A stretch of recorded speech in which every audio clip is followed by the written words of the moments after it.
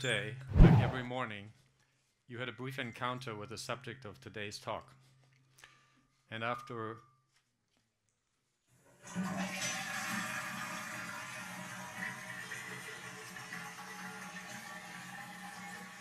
and after about a distance of 30 centimeters, where it appeared and quickly disappeared, what we don't even think about every day, has actually ranked number four as the greatest engineering challenge of the 20th century, right up there with electrification, water supply, and distribution. And I should add sanitation. This is the reason why we have significant improvements of public health in the cities we live in today. Who would have guessed that washing hands would be that powerful? Unfortunately, what we take for granted is not available in many other places. And uh, for more than 35% of the world population, uh, this is not um, something they can rely on. Throughout the world, an estimate of 2.5 billion people suffer from a lack of sanitation. Mostly in sub-Saharan Africa, in India, Bangladesh and Pakistan. So what does it take to provide safe water supply and sanitation? The approach many cities have taken actually dates back to the Roman Empire. Let's look at Munich as an example.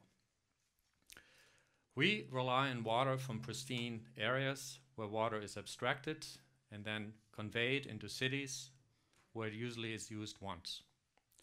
This water is then flushed and collected into sewer pipes. And these are connected to wastewater treatment plants.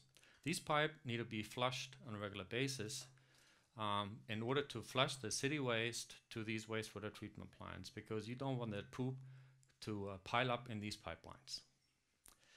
In these wastewater treatment plants, we're using a process we call the activated sludge process, which is about 100 years old.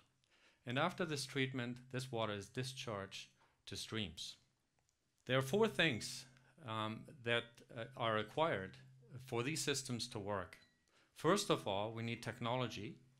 Second, we need engineers that, are, that can engineer and apply these uh, technologies. We also need people that take care of uh, water quality and compliance. And we need a financing system that pays and covers the cost to run these operations. And frequently, one of these elements are lacking in the countries I mentioned before, in Africa or in India. When we look at the attributes of these systems, they're pretty linear. We rely on pristine areas, we import water into cities, we use it once, we're discharging into streams. Unfortunately, and not all places are as lucky as Munich, where this water is simply running downhill into the city. In most places, water needs to be pumped over long distance and need to be treated, and this requires energy, frequently substantial amounts of energy. So what are the benefits of such a system? Um, they are pretty amazing. Regardless where you go in this country, you can always consume water from any faucet. Each of us consumes about 122 liters every day of clean water. And most of that clean water is actually used for showering, for toilet flushing, for gardening, for irrigation purposes, car washing.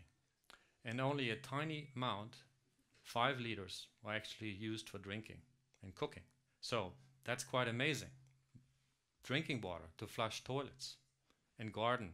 That sounds like you use your brand new BMW to drive 20 chickens to the farmer's market and certainly not approach that would work in many other places. When we use this water, then we turn this into wastewater. But what is in wastewater? Well, it turns out that in wastewater, while it looks dirty and it might stink, we still look at 99% water or H2O. And only a tiny bit is actually waste, the stinky stuff. So let's blow up this cake uh, to look at this a little closer. Mainly we're looking at salts coming from cooking, nutrients, and organic matter, 0.1%.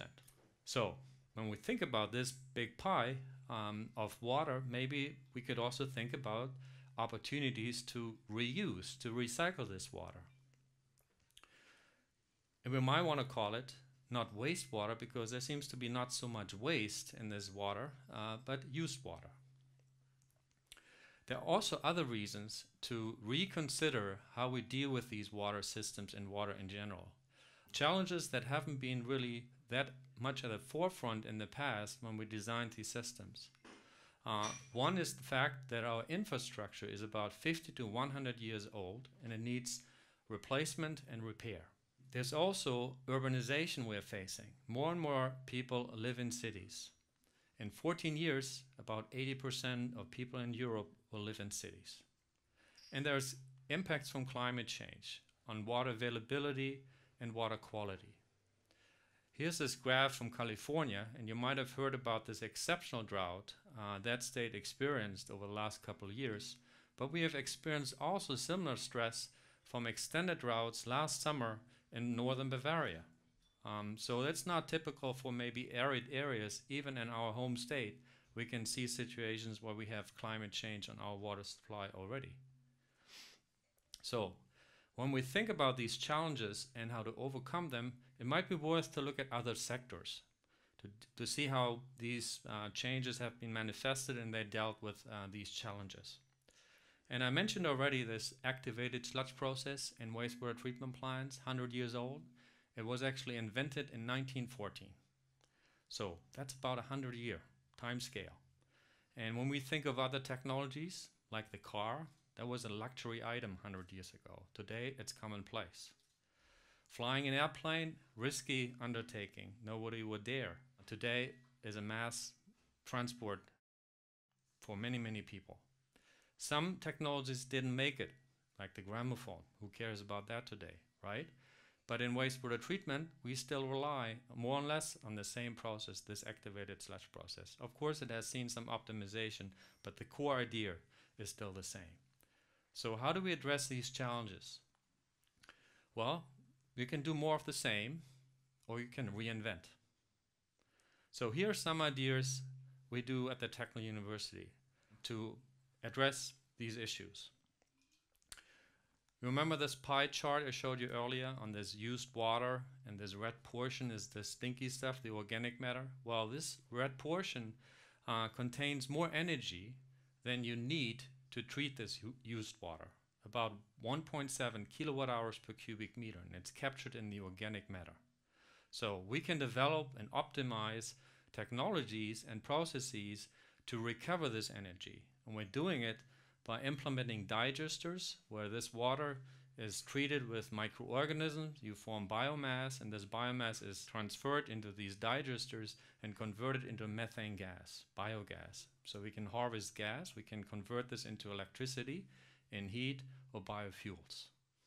And in theory, not just in theory, we can run these plants energy neutral or energy positive more energy than you actually need to treat it. And therefore, what we really do, we recognize uh, that this is not a waste product, but it is an opportunity for resource recovery.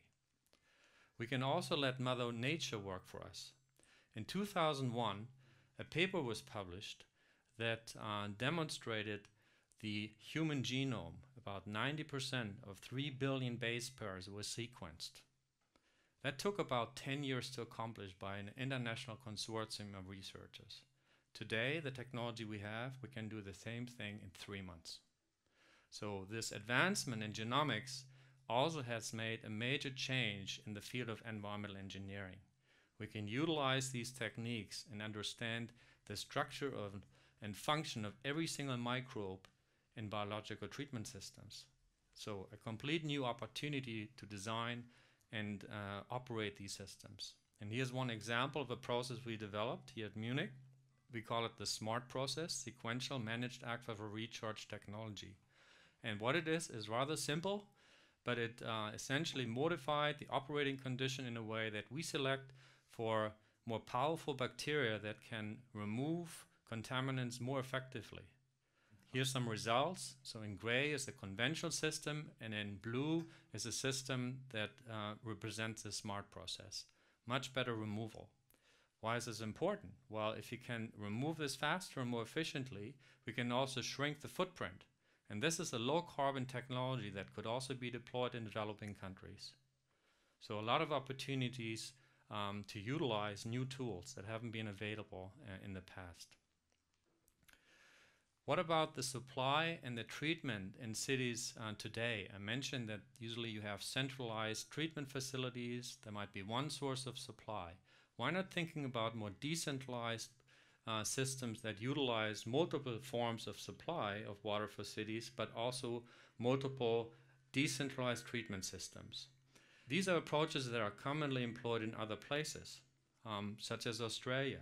So here's a rainwater tank, which is required by law to be implemented for every single house. So every homeowner is required to put in a rainwater tank, and this water is used for irrigation, gardening, and toilet flushing. When we look at these centralized systems, these little blue dots represent maybe houses or little neighborhoods. Uh, they're all connected to a centralized sewer line, which ends up in a wastewater treatment plant. That's how we do business today. But what about if you cut this all into smaller pieces and you have individual plants? Well, the conventional engineer of today would argue, well, way too expensive. That's 10 times more expensive to treat a cubic meter of water than doing it in a centralized fashion. The reason is the energy demand. But they're not looking and considering the opportunities you have by utilizing this water in a decentralized local fashion. You don't need to pump this water from your centralized uh, system back into the city. You can use it where you generate it. And you can tailor the quality to the needs uh, to utilize this water for different purposes. So a lot of opportunities exist. How do we might configure these systems?